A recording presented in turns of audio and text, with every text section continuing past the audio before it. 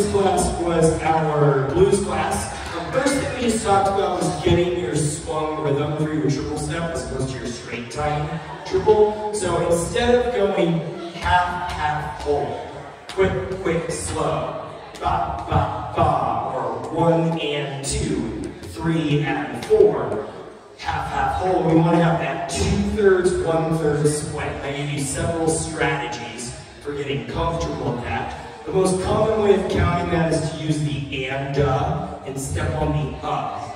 One and uh, two, three and uh, four, five and uh, six, seven and uh, eight, or I told people medium, short, long, medium, short, long, triple, then step, triple, then step, are all kind of ways to say the syllables in a way that will assist you. Ba,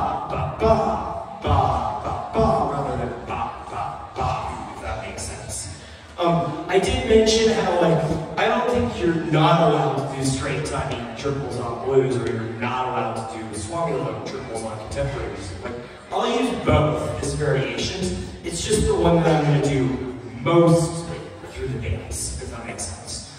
Um, we also, little tangent about how the rolling count, one and a two and a, gets used for two purposes counting the swung rhythm of the triple, but also for just working on smooth motion. So you'll hear people work on like six and one, even when they're doing three and four for their triple steps.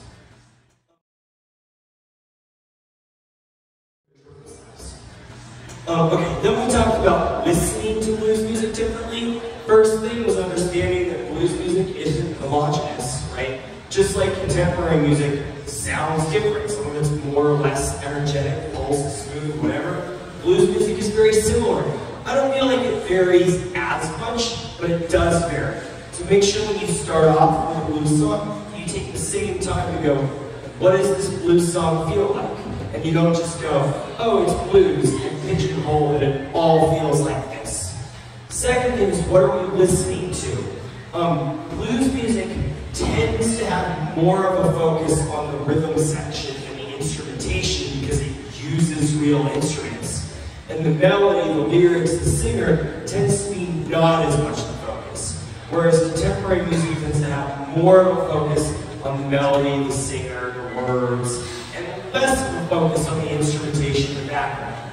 That doesn't mean it's not there at all. Contemporary songs still have instrument, interesting stuff in the background. And blues songs still often have interesting singing, right? Like both of those happen.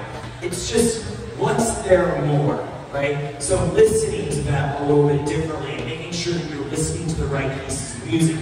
If you're only accustomed to listening to one of those, the often the other genre will often feel very boring to you because you're listening to the stuff you would normally hear in contemporary or blues that's not present. You switch to the other one.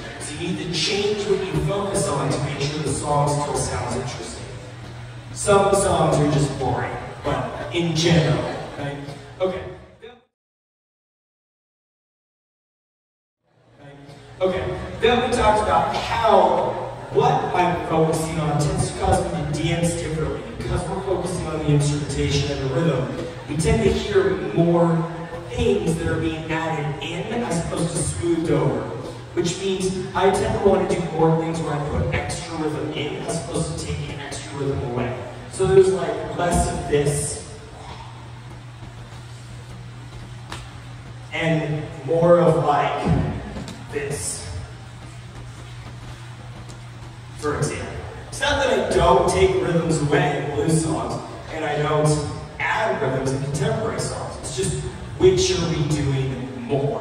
Right? So we went through several specific examples, making sure you're comfortable with the kickball change rhythm, which I can use to start a pattern. I can also use it at the end, and kickball change right there. Sometimes I'll do it through an entire move. I'll be like, kick, ball, change, tap ball change, twist ball change, oh again. And we'll use that rhythm over and over again. Like in, I would say in contemporary music, like your walk, walking, your triples are your most common rhythms. Then after that, like hold step, tap step, brush step is probably your next most common. then the kickball change rhythm after that. To blues music, I'd reverse that. I would say your long walk and your triple are your most common, and then your kickball change is your next most common rhythm, and then like the tap step comes in sometimes. So shifts, which I do more. Um, we talked about like the quadruple step rhythm. Make sure you get comfortable moving this different places. We did the version on the heels. We played with grapevines. Uh, we did just the like continuous pitter patter feet, where you're just like, da, da, da, I just hear piano or a guitar just going crazy. And I can do that for an entire pattern, and it's very inexact, and it looks like I'm doing fancy footwork, but I'm just going like this really fast with my feet all over the place in a very non-specific way. Um, so those were all kind of specific examples of ways you could add more rhythm in to feel like you were dancing to the section or the pieces of the music that you want to be listening to more, right? So we do more footwork to blues, but we do more footwork to blues because the piece of the music that is more interesting tends to make more sense for footwork. Um, okay, beyond um, okay, beyond that, tips to kind of keep in mind for blues music that I can find that I find can be really helpful for people is watch for a lot of like specific movements. There's a lot of movements that you'll see a lot blues music that also work for contemporary music, but you just see them all the time for blues music. And we did like four of those, right? And the reason you see them so much is because they kind of embody the things that we talked about. So like we got the change, like. A lot. I very briefly showed you the kickball change in different places, but another one is like kick and kick, or tap and tap is really common stutter steps. Like this are really common. So one really good way to get good at dancing to this style of music is to watch dances and look for specific movements that people do to that style of music. And it's not just like, oh, well, there's 10 official blues footwork things that I need to have to blues music.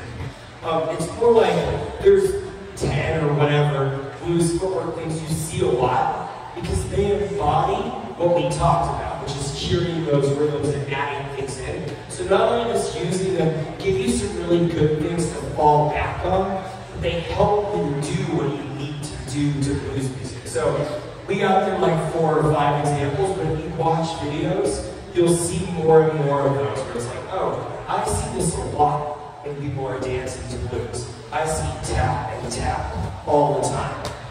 I should probably figure that one out so I can be comfortable and that's where you kind of take what we talked about, build on it further.